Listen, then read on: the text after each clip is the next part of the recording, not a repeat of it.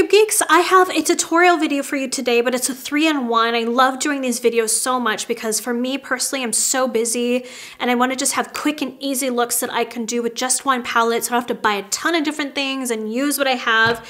So the palette I'm using today is the Makeup Geek Champagne and Rosé. It's a, an inexpensive palette, it's $20. It's um, eight really good size pans right here. And really quick, let me show the swatches of this palette. All right, so let's get started with three different looks using the Champagne and Rosé palette.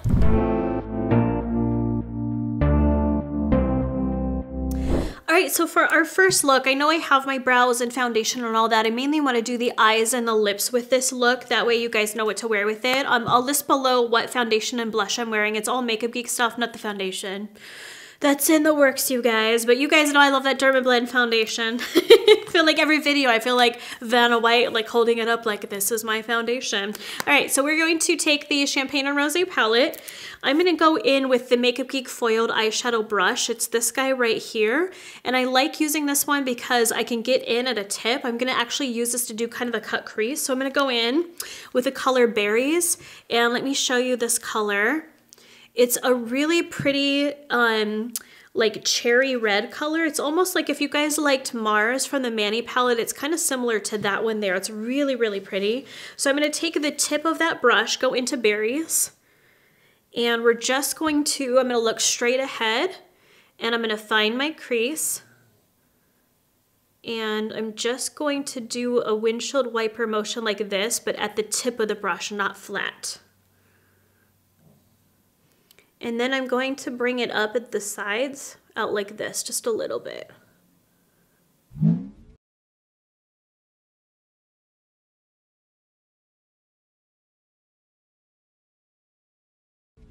Okay, now to blend this crease up, now I'm gonna switch it to going flat, same color, and now I'm gonna flip it upside down so the color placement is like this because I want to blend the color upwards. Do you see how I'm focusing on the outer part of the eye? And I'm just pulling it up a little bit to kind of blend it out. So dip the brush in like this, flip it upside down, brush up.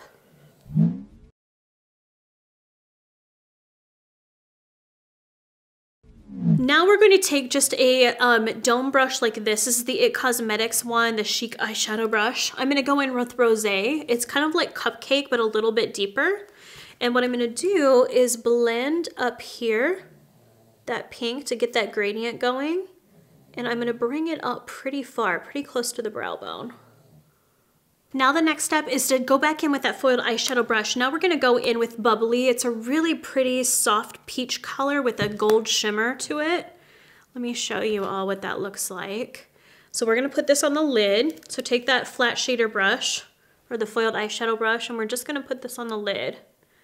If you want to do a cut crease and take a base to cut that out to make it super, super sharp, you can, but I'm trying to save steps and make these a little bit easier. So as long as you kept that um, pink in the crease, you should be fine putting this on the lid.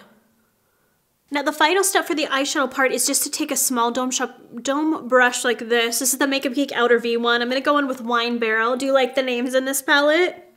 Feel like after this I should be having some wine. so I'm just going to take just that nice kind of um, neutral tan color. We're going to put this under the lower lash line just because I want a little bit of depth under there, a little bit of dimension. And then I'm going to bring it out here to join with the burgundy that we put down. Right there.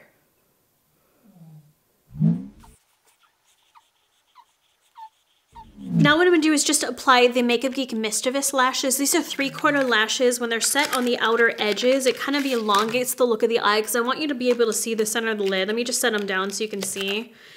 But you guys know how to put on false lashes at this point. If not, Google that shiznit. It's all over the, it's all over the internet. Oops. I'm just to glue them down and show you after. I'll be right back. Okay, so I put the lashes on. These are what they look like. Do you see how they're three quarter lashes? So it, it makes my eyes look more angular. Why am I doing this? I feel like I should be doing like a 70s dance. Anyways, this step is optional because you guys know I'm extra. I mean, come on, look at me right now. but if you want to add a little bit of glitter to the look, I'm actually really loving these from Urban Decay. It's their heavy metal glitter. They've had them forever, but this is the color Volume. It's kind of a burgundy color. But what I'm to do is I started, I practiced it on this side, guys, while I was waiting for my lash glue to dry, because you guys know I have no patience. So you can put just a really thin layer of that in that crease if you want. I feel like it makes it, it bumps it up a little bit, you know what I mean?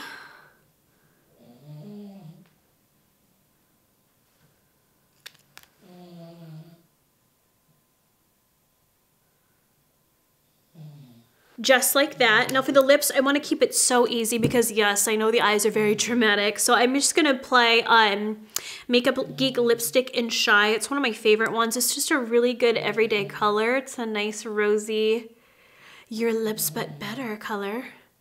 Lady is snoring so loud, jeez. You guys hear that on the camera? She's like a grizzly bear. So there you go. I know I started dramatic first with the first palette, but this is look number one. So let's go on to look number two.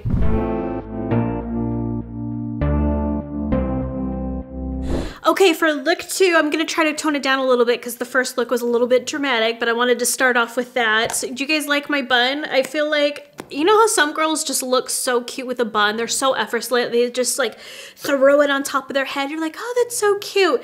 Me, when I try wearing a bun, I feel like the grandma from Looney Tunes. Do you guys know what I'm talking about? The grandma with the little glasses. She's got like the little high collar shirt on. That's me, but I hope you guys appreciate the grandma the grandma tribute that I've got going on right now.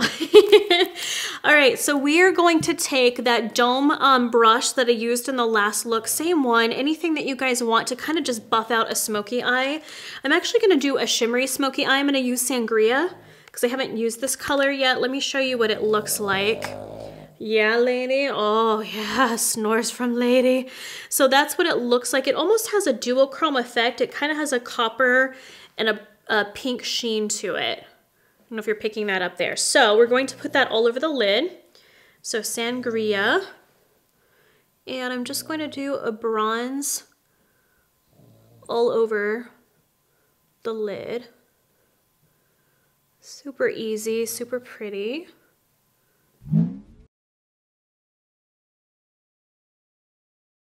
All right, now wipe off that same brush. We're gonna go in with Wine Barrel and put this in the crease. I'm just going to put it above that bronze shimmer. If you feel this is too dark for you, if you have um, porcelain skin or fair skin, instead of doing this color, you could do rosé, the pink instead, that would be fine. I'm gonna wipe it off again. Now I'm gonna go in with Sweet Cream. And it's just a really pretty vanilla color. This is, I use this under the eyes. This is probably my go-to color for everything, like cleaning up, uh, highlighting under the brow bone, putting under the tear duct, under the tear duct. What did I say? Under the lash line to clean up everything. It's getting late, you guys. You know what I mean? so just buff that out. Now for the lower lash line, I'm gonna go in with a really small dome brush. I'm gonna go in with berries and put it under here. Now, if you feel like you're afraid of wearing bright pinks under the lash line, you can go in with Merlot instead if you want a brown. I just wanna add a little pop of color. I'm gonna go over it with um, Sangria anyways. So let me put that kind of cherry color under here.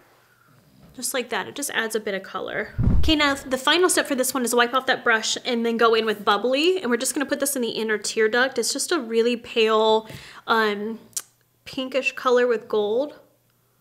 And I'm putting that in there. Do you see how it just makes my eyes pop a little bit?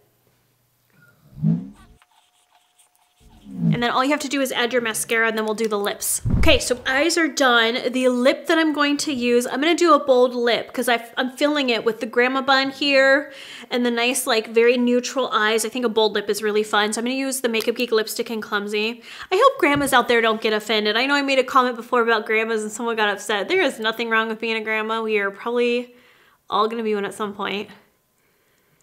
I just gotta, I gotta go lightly, make fun of myself sometimes because life is short, you know. Okay. What do you guys think of that bright lip? Hmm, yes, I'm feeling this look. liking a bold lip for 2019. You know, that's what I'm trying to focus on. All right, so that is a look number two. Let's go on to look number three.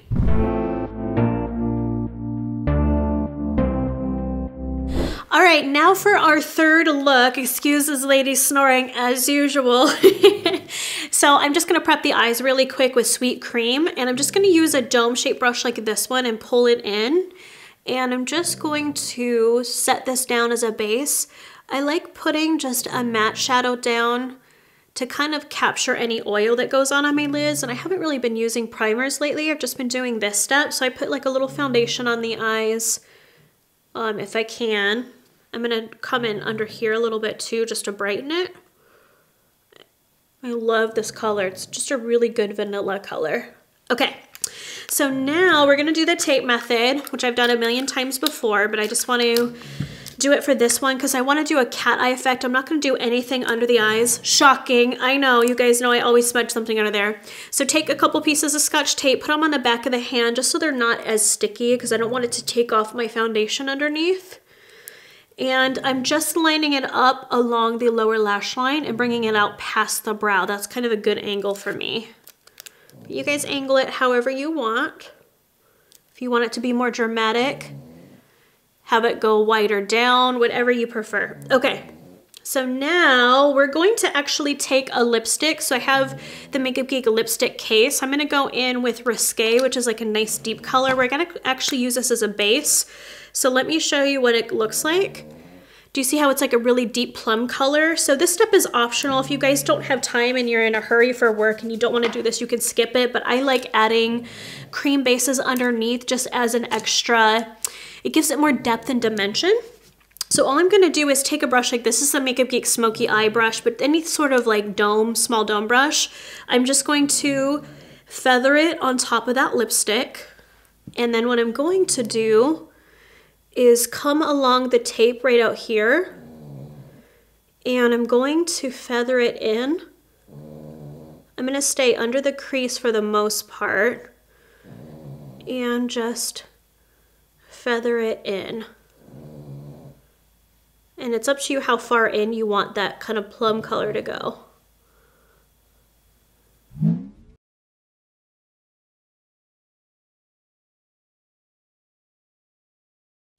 So now that I have this part down, I know it looks crazy because there's some color on the tape. This is the tape, so when I take it off, just trust me. Just give me a minute.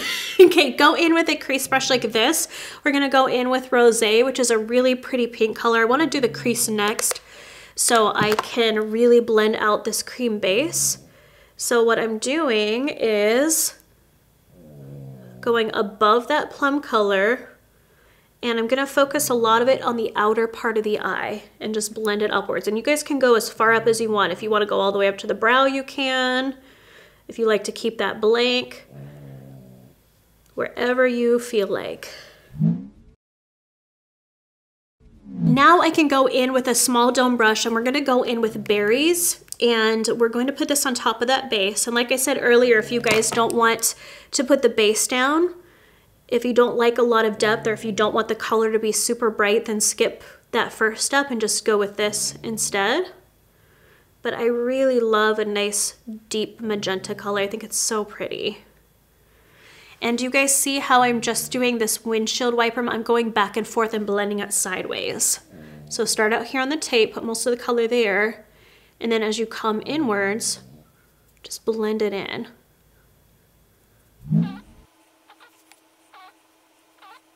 All right, now the next step is to take the Makeup Geek foiled eyeshadow brush. It's just a really flat, dense brush. And what I'm gonna do is pick up Bubbly. And if you have deeper skin, instead of doing Bubbly, I would do uh, maybe Sangria or Champagne instead. But if you have fair skin, go in with Bubbly. So I'm gonna pick up some of that on the brush. And you can put it on dry if you want, or if you want it to be really metallic, wet it. So I'm gonna take just the Aesthetic Arts Petal of Dew mist, and I'm just gonna spray it on there so it's a little wet. And I'm to put this on the inner part of the eye.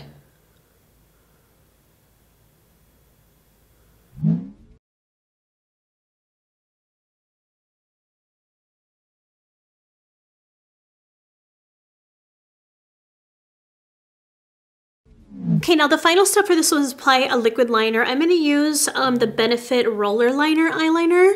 Someone at Ulta actually um, told me about this one and she was like, oh, it's really good. I haven't tried it. Um, I started using it lately and it actually is a really good eyeliner. Hold on, I'm gonna need a mirror for this one. So what I'm gonna do is start on the upper lash line. It's really pigmented. I like this one a lot. So I'm gonna do kind of a baby wing. I don't wanna do too much just because my eyes are getting a little bit more hooded these days. So I'm gonna start about two thirds of the way in and then connect it to the tape and then I can run it up alongside the tape and kind of create like a little mini triangle for a wing.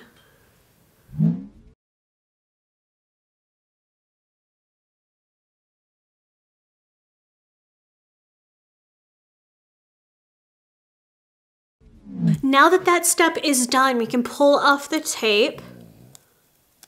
And do you see how it gives a really crisp line like that? Then you can go back in with that dome brush and just kind of clean up under here. I'm not going to put anything under the lower lash lines today. Hold on, let me touch up the crease. Do you see how I need to blend a little bit more right there? So just go in a little bit more with Rosé, that pink color. Just blend over that. Okay, so now we can do the lashes. I'm gonna use the ones today I haven't shown you guys yet, are the Makeup Geek Fearless ones. These are more dramatic lashes, but I feel like since the eyes are so bright and dramatic, they can handle this. So I'm gonna put those on and come right back and show you what we'll do with the lips. Okay, while these lashes sit, because this glue takes forever before I set those down, let me show you what I'm gonna do for the blush. I know I said I wasn't gonna do blush on this video, but what I've been wearing for this whole video is Makeup Geek Main Squeeze. So I'm gonna add just a little bit more. I take the Makeup Geek angled stippling brush because it's my favorite brush. And what I'm gonna do is just put this on the apples of my cheeks a little bit. Just like that. I'm gonna add a little bit more highlighter too. So just do a little bit of that on the cheeks just because I want to add color to my face. Since the eyes are so bright, I don't want my face to look blank. And then for the highlight, I'm going to use the Makeup Geek Rekindle. It's really pretty champagne color. Actually, let me show you guys what it looks like. Do you see that shine on that? On the back of my hand. So pretty. So I'm just going to take a cheek highlighter brush and just dust the, uh, the tops of the cheekbones. Yes, lady, she's tired. She's getting those good snores in. now for the lips, I'm going to line the lips. I'm going to use that Makeup Atelier Paris lip pencil in number CO1. Just any sort of nudie pink color will work. So I'm just going to line the lips.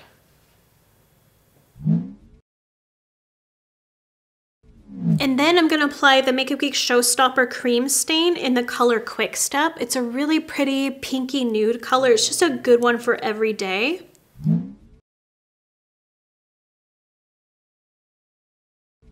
And then if you want a little bit of gloss, I'm going to use the NYX Butter Gloss in Tiramisu. That's another nudie pink one. We have the Makeup Geek Healing Lip Glazes. I keep forgetting to ask my team to send me more. I don't know where mine went. I had two, and I don't know if I left it in a purse or whatever. So I was like, all right, I'm to use this one. Just a nice creamy kind of gloss. I like these because they're not sticky. Ooh la la. All right, let me slap these lashes on. Okay, then that is it for the third and final look. What do you guys think? I like this palette a lot, but I love pinks. Obviously, I'm always wearing pink. So anyways, you guys, I'll uh, list the links below to that palette if you guys want to check it out. I love showing you different ways to wear one item so you don't feel like you have to constantly go out and buy all this makeup, that you can just find new ways to use what you already have. So thanks for watching, you guys. I will see you next Monday for another makeup video. Talk to you soon. Bye.